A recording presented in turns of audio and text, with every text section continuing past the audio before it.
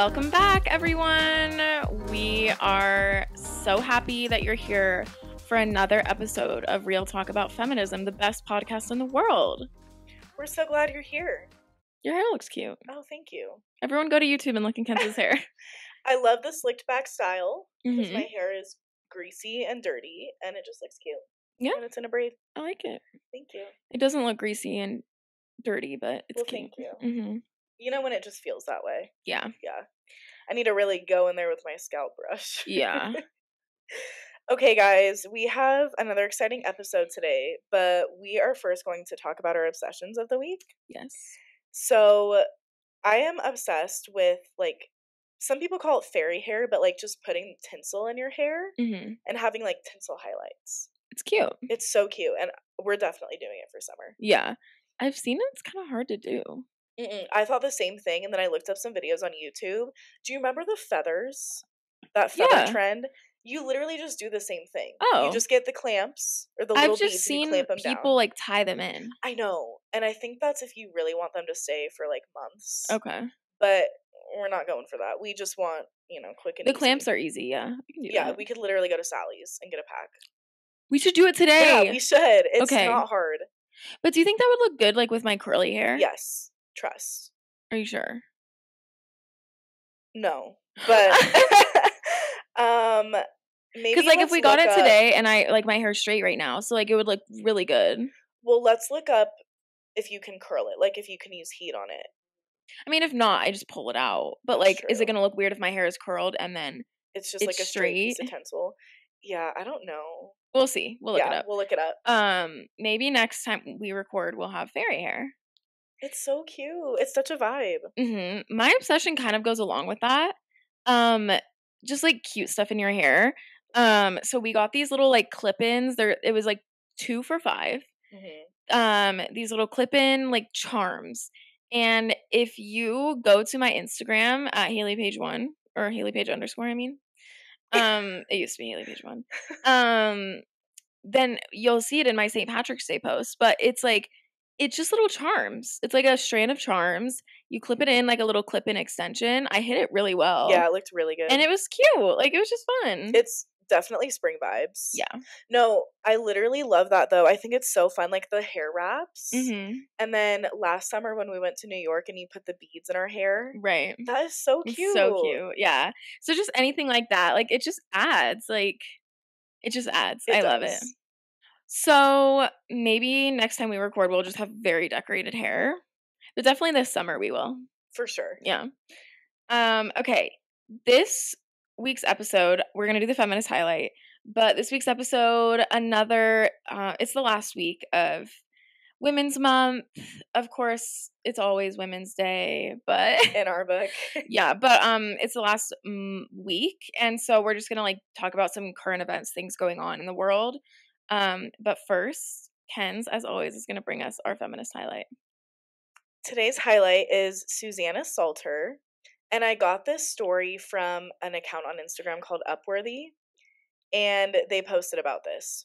So, Susanna Salter. In 1887, a group of men added Susanna Salter's name to a mayoral ballot as a joke intended to humiliate women. mean I know. Instead, she won over 60% of the vote and became America's first female mayor. Slay Isn't that such a slay? no that is such a slay literally. i'm obsessed I was that. obsessed with that because they were trying to be mean. yeah and then she becomes the mayor of the city good for her It's hilarious. yeah And then she's the one making the policy and they have to follow. yeah, literally. She's like, um, I'm the leader now. So I love that. Short but sweet feminist highlight today. Yeah. Um, okay. Do you have any like updates or anything, or are we just getting straight to business? I really don't, actually. All right. Let's get into it. Okay, so the first we're I'm gonna cover three different current events going on. So this will be like a little shorter of an episode, but these are very important things to talk about. The first one being the situation in Iran still going on. So Mahsa Amini's death was about six months ago at this point. Isn't that crazy? That's insane. It feels like it like happened like a month ago. hmm Um, but we don't want to forget that whole situation because Mahsa Amini's death like sh- started like a bunch of protests and stuff and there was protests here in the US and obviously we did an episode about it but then here in the US it's kind of fallen off. Right. And so I was reading this article about it and um I didn't use any information from it in this episode but I was just reading it and that's what prompted this topic because it was talking about how um like basically like feminists who still aren't fighting for Iranian women are fake hmm basically because like it just got forgotten about. Right. And it's easy, like, especially like in America and like as white women to like forget that. But the one part of the reason that we love doing the podcast is because we love to share Mm-hmm. about feminism worldwide. And it's really Right. important to not forget that because it's not just us ladies in America. Like, literally, there's tons of countries where women's rights are under attack Right. and women are fighting every day and we need to give them a voice because their government is oppressing them and the people are oppressing them and they need a voice Exactly. Um, I love that. Thank you for saying that. So, kind of to get into it,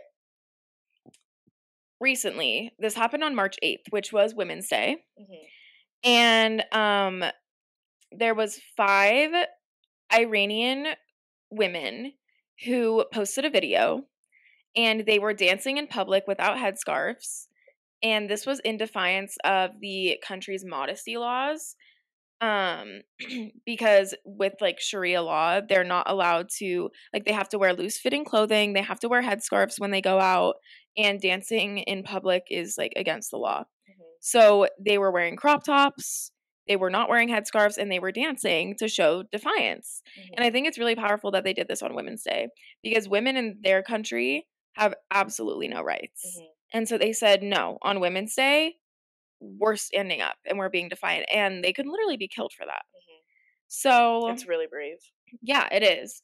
So um the video went viral as a symbol of resistance and people all over the world started recreating the video to show support and stand in solidarity. Because after this like the government was trying to find the girls, the women and like make them apologize and get them in trouble because they really defied the laws. And so it was scary for them. Like they did that knowing that they could be put to death yes for posting a simple video. So, um this is I'm going to quote this from the article which will be in the show notes. It says in the 6 months since Mahsa Amini's death, Iranian security forces have routinely used draconian tactics to try to suppress protests, going so far as to arrest children. In a report released Thursday, last Thursday, Amnesty International found children arrested during during and after protests had been subject to electrical shocks on their body, been threatened with rape, had their heads held underwater, and been sexually assaulted. Many children were released only after they signed, quote, repentance letters and promised not to participate in further protests, according to the Human Rights Organization. So, obviously, the government is extremely dangerous and not letting anyone have their use their voice at all.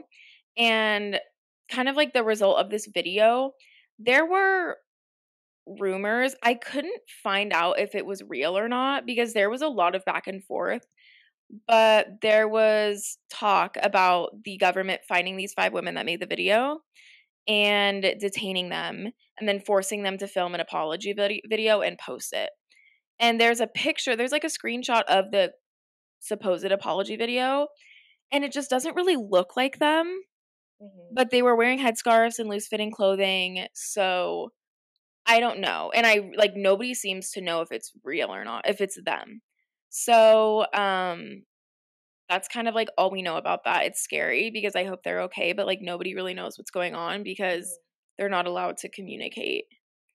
But that was a big thing that just kind of like went viral on social media and i think it was good to like reignite the protests around the world or just like the solidarity it shouldn't have ended but like they did a lot of good work by doing that video right and i remember seeing that video mm-hmm. and i remember seeing like all the recreations or like other Iranian women like standing in support of them. Right. And I was just like, that is so scary. Like, I can't imagine living somewhere with all of those rules and Mhm. literally knowing if you do one simple thing, such as dancing, hmm you could literally be put to death or arrested or abused. And it's scary.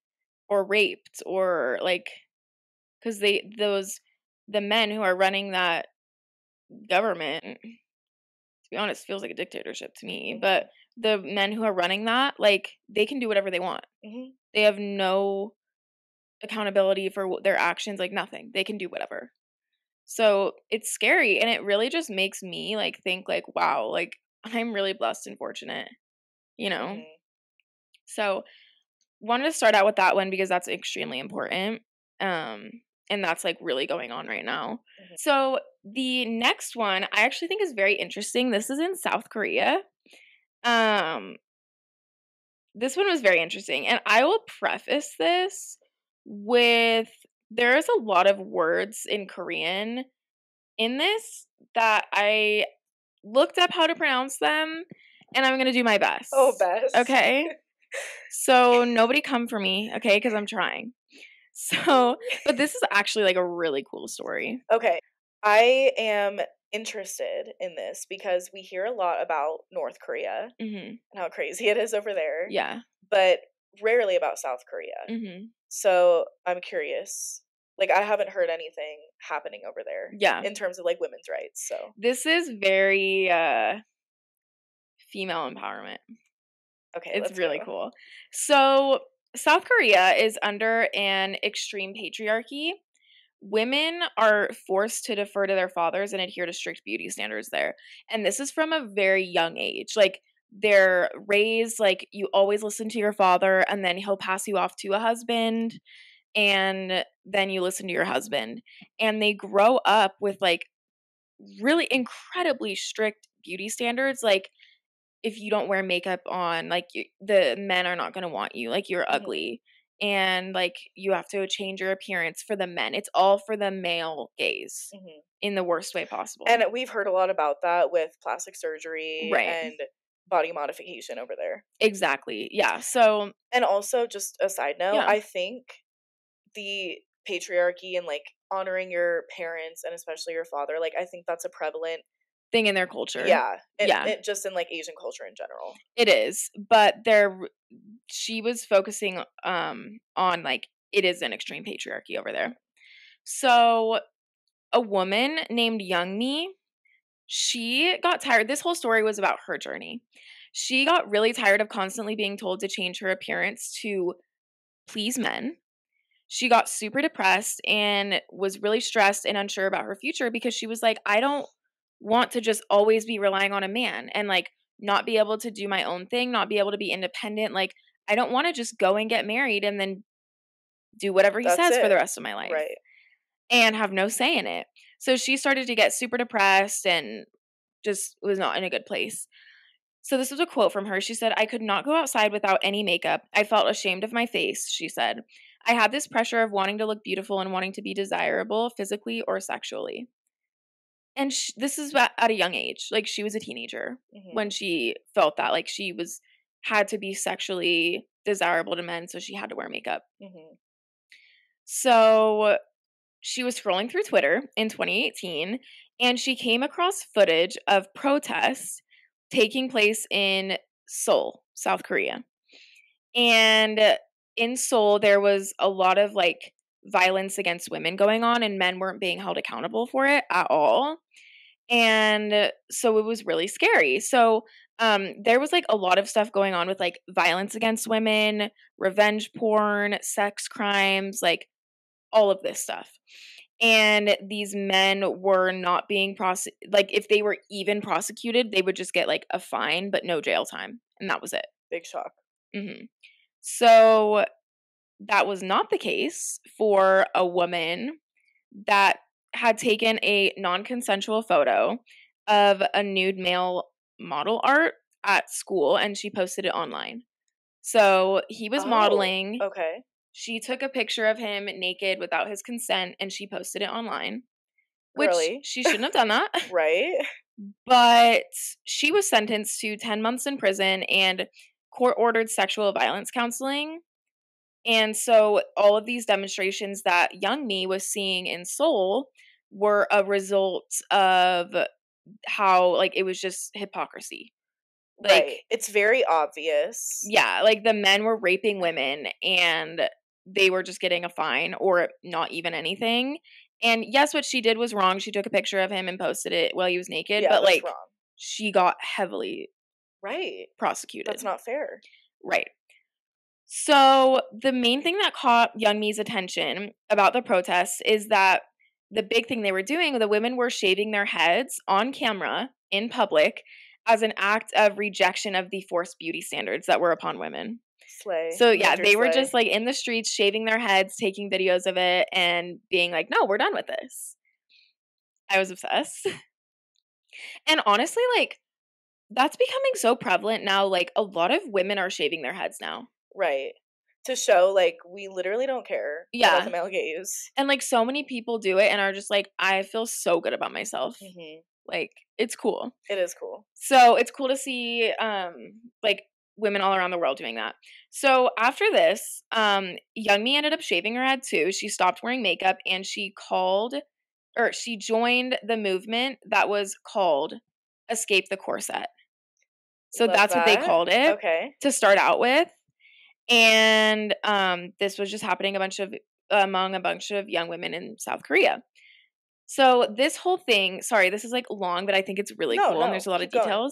Um, so this whole thing eventually started the what was called the 4B movement. This is where you guys cannot come after me for the pronunciation. I'm going to really try.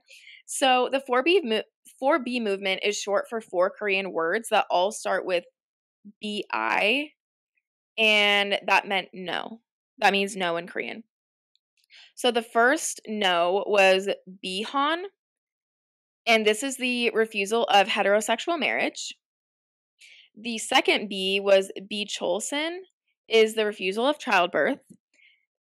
Good job. Keep going. BNA is saying no to dating, and bisexu is the rejection of heterosexual sexual relationships. So basically, the 4B movement was rejecting heterosexual marriage, childbirth, dating, and heterosexual sex. And when they say like rejecting, this is my interpretation of it, but like basically just not conforming to society's typical standards. Right. Right? Like why do I have to marry a man? Why do I why is it expected of me to give birth? hmm Why is it expected of me to only be with the opposite sex? hmm So I think that's really cool. It That's was a cool. and like the 4B movement, that's cool. that's awesome. So, um, like you said, they they basically said like by rejecting all of those things, it's the only way for Korean women to live autonomously. hmm So that was crazy. Um, and so this is a quote I thought was just really good. Um, it says, while 4B's adherents may hope to change society through demonstrations and online activism and by modeling an alternative lifestyle to other women, they are not trying to change the men whom they view as their oppressors. It is too soon to tell whether this movement can survive and thrive over the long haul, but its ideas and actions have already affected the country's online discourse, its politics, and most of all, individual women's lives. I like how they said that because I feel like that's a huge thing for our platform is like we just want equality Yeah. for all genders. hmm And so they specifically mentioned like they're not trying to change the men. They're just their trying to change their lives. Exactly. Right. Because they can't control the men's actions, but they can take their lives into their own hands Mhm. and kind of like reject the culture that Right, they've the all grown up. Yes. Oh, that just is so sad to me that like from such a young age they're told you're only pretty if you wear makeup, you're only pretty if you alter your face. And that's very common with a lot of women, not just South Korean women. No. It's very prevalent there for sure. Yes. But I have I mean through like indirect messages through social media and stuff. But like I've never been S- straight out told you need to wear makeup to be beautiful. exactly. Right. Which is difficult. like how can that not alter the way you see yeah, yourself? seriously. Yeah. So, um yeah, that was the 4B movement in South Korea. I was just obsessed with it. I literally love that. I literally was like, we could dive into that and do a full I episode. know. I'm so interested. Yeah. So that was really cool. We have one other current event. Um and I I like just like talking about the different countries. I do too. Um so this is um Chilean feminism. So we're talking about Chile today. And so one year ago, Chile sorry, it's not Chile. It's Chile. One year ago, Chile's president pledged to become the first South American feminist government. Whoa. So he was like, I'm gonna focus on it. Like this we're gonna Oh, focus on? Yes. Okay. He was like, we're going to focus on like female empowerment, female equality, and like we're going to get more female voices. So that was a year ago. And I, this article that will be in the show notes is evaluating like how well are they actually doing Mhm. a year after he said this. So the current president, he's the youngest Chilean president in history. Chile's current interior minister is the first woman to be named interior minister. And the president's cabinet has 14 out of 24 women Whoa. so the 14 that was at the time of like when the president was the new president was inaugurated so um that was a year ago currently there's still 12 women in the cabinet which i think is pretty good that's 50% 50 um, 50. That's perfect. yeah so um this is a quote so in general chile is more advanced than other countries in the region in terms of women's participation in politics said antonio orleana Oriana. sorry Sorry for correcting you. said Antonio Oriana, whom Boric, the president, chose to lead the Ministry of Women and Gender Equality. So, in the president, Boric, in his first State of the Union address in June last year, he declared that he would put gender parity and equality at the heart of all government business. He even installed the women the Women's and Gender Equality Ministry in an office in La Moneda for the first time. So that's just like a region. Mhm. So he like really made it his priority. Like a big part of his platform like I'm going to make women like are equals and give them a voice and like a platform. So he was really trying. So the one issue which I do think is interesting because I think a lot of times people will be quick to blame women. So some people were bringing up the fact that like oh like if the government is not doing well or if it's failing, they might blame women saying like oh well he just he's been focusing on bringing more women voices in the last year and now the government's failing so we just need men to lead, you know? Mhm. So that is a valid concern because people would very like definitely be quick to say that, you know. For sure. So there was a recent survey that showed that 58% of Chileans still considered their country machista, so like masculine, Mhm. and 82% of men and 65% of women said they felt little or no connection to Chile's feminist movement. So it seems like it's a lot of talk and not a ton of action because the the um, citizens just aren't really connecting with it. And it could also just be slow growth hmm because it takes time for things in government. Yeah, We know that in America. yeah, And it could just be slow growth and the people just aren't maybe aware of like all the behind the scenes. I'm really trying to like advocate for this because I think it's great. yeah, yeah. And like, there's a lot of stuff that could be going on, but you know, um. So one big thing on September 4th, the Chilean government rejected a bill that would have paved the way for more reproductive rights for Chilean women. So that's obviously And that doesn't really line up with what yeah. the president was saying. Exactly. So it's and similar to like I don't know if their government runs like we do in America, but like, you know, the president can't just he's it's not a dictatorship. He can't make every single decision. It's up to Mhm. like the Senate and the House in the United States.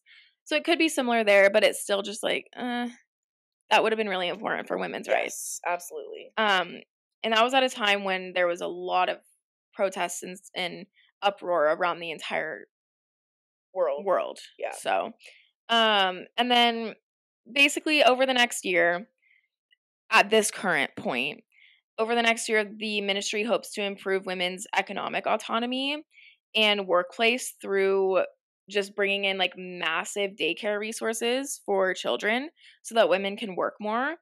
And they also announced a plan to roll out low cost contraceptives. So that's great. And that's definitely a step. We'll see if that happens. Mm-hmm. And because there has been a lot of talk and just slow growth, which could be for a lot of reasons, like you said, but um, I'd love to see that happen. Right. And especially with having the cabinet be half women, you would hope that there would be some quicker progress going on. Right. But I think it's a great first step that they're talking about it and that they have plans. Mm-hmm. Yeah, so that is our last little current event about Chilean women. So we got to hear about Iranian women, South Korean women, and Chilean women today. And I just find it so fascinating to learn about the world in general, and especially like how women are living in other countries and other regions, other parts of the world, because it's very different from our experience here. Right. Um, there's a couple things that I want to bring up before we end. Yeah. This is kind of reminding me of the two books that I am reading for Women's History Month that I mentioned in our first episode of March. Yeah. But I finished The Dream House, which was about a woman who was in a relationship with another woman right. and the other woman was extremely abusive. Okay. And this whole episode is about like broadening our perspective, right? So it was just really interesting because I was like, this is a huge problem that goes unnoticed because usually when we think of think of domestic violence, it's a man against against a woman. A woman. Yeah. But it was really sad to like read about that and how it like still has affected her to this day. Yeah. Um, and then the other book was um I didn't realize this until I started reading it, but what is it called? I started it, I'm like 50 pages in. It's called when they call you a terrorist and it is written by one of the founders of black lives matter okay so i'm like reading her story and like how she grew up and the um role that the police played in her life and her family and it's just very eye-opening mm-hmm. and i think it's so important to for one like do episodes like this where we can get outside of our own little space that we live right. in but like also the Black Lives Matter founder from America. Mm-hmm. So it's like we're living in the same country and we have two completely different experiences. Yeah. And so it's just really important to open up our eyes to that, I think. It is, especially with like racial differences, mm-hmm. because mm-hmm. like we do recognize like our privilege as white women. And we've been talking about this kind of a lot recently, especially me and Tyler.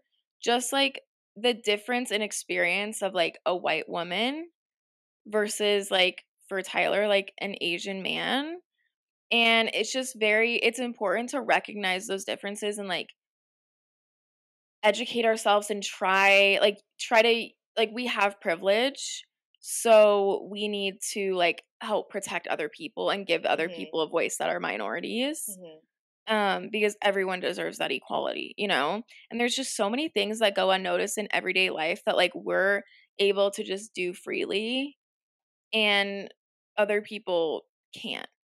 Right. You know? Right. And it I don't know, it's just like the book is just so interesting and it's so sad. Like mm-hmm. I'm like I just can't believe this like while I was growing up with like a very privileged childhood. Like mm-hmm. she was like worried about her brothers being arrested for nothing and the police just trolling her neighborhood. Yeah. And it's just so sad and like I'm happy I'm reading those for the change of perspective. Yeah. Um yeah, so anyway, I just think that's like a great way to end Women's Month. Mm-hmm. Um, but also, I need to plug an update for you because this was an update that we didn't talk about your permanent bracelet oh before oh we gosh. end. Yeah, because I was looking at it um, yeah, me and Tyler got permanent bracelets. And it was really cute. I made a TikTok about it. It was my Valentine's Day gift to him. And also like um like 2 weeks ago we like hit 6 months. And so it was just like really good timing and they're really pretty, honestly. Like and it was a very like it was very romantic and it was just like it was just a good night. Like we it, we just like felt very connected because like mm-hmm. this is permanent. You have to go get mm-hmm. it cut off. It's like welded on. And it was just like a connect like a symbol of like our love. And it was cute. Yeah, it's very cute. You guys should go watch Haley's TikTok. It's on her Instagram. Yeah. Anyway, I just Thank had a plug you. for you. Thanks. I actually thought about it and I was like, oh, like next episode I'll do like that as my update. Mhm. But yeah, thank you. Very cute. Yeah. So we are going to end this episode. And also, like, we do love doing these types of episodes. So if you guys hear about like a story going on in another country or like something that you want us to cover, please let us know because we like try and stay up to date, but it's really hard to cover everything. Right. So just DM us, send us an email, whatever you guys want to do. Um, follow us on Instagram at Real Talk About Feminism Pod, same as TikTok. Subscribe to our YouTube channel and our email newsletter. And we'll be back next week, beginning of April, with a brand new episode. Bye everyone. Bye.